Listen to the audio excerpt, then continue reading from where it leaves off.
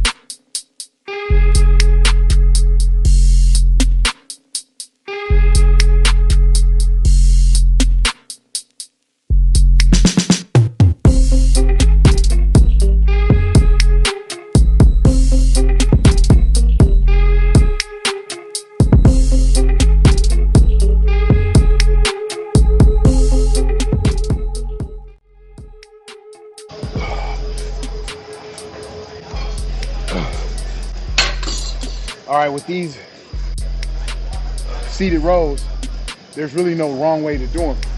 The way that I was doing them, the reason I like doing them is stretch out my lat and I contract my back. I, I feel like I get a better squeeze in my back when I do them that way. But you also can do scapula, where you're just moving your scapula back and forth like this, doing the same thing. Uh, contracting your back, squeezing, or you can be come a little forward and then bring it all the way back here. You know, some people do that. There's really no wrong way to do this, but some people on the internet gonna call you out on it, but they really don't know what they're talking about because they got it from a trainer. What I can really tell you guys is to try different exercises on your own. This is not a race inside the gym, so therefore you got time to, to try different exercises for months, weeks, days before you write them off. Do everything.